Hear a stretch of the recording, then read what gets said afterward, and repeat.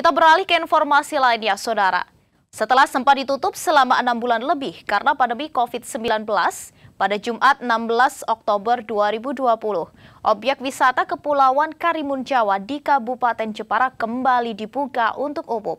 Lebih dari 200 wisatawan mendapatkan kesempatan pertama mengunjungi objek wisata Karimun Jawa.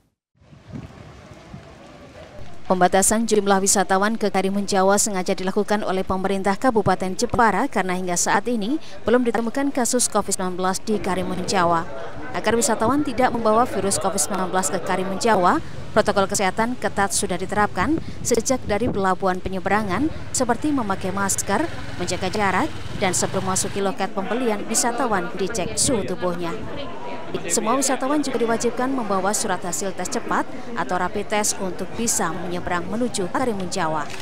Pihak pelabuhan juga menyediakan petugas yang melayani tes cepat atau rapid test bagi para wisatawan yang belum sempat melakukan tes cepat.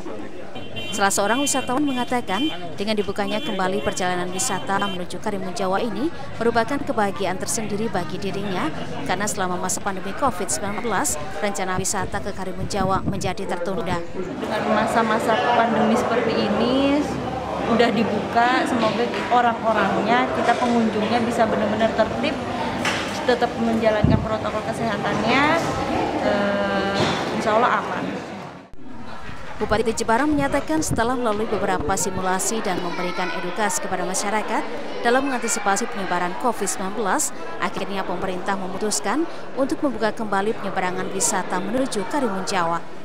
Untuk sementara penyeberangan ini akan dibuka dua kali dalam sepekan dan jumlah penumpang kapal juga dibatasi separuh dari kapasitas maksimal penumpang kapal.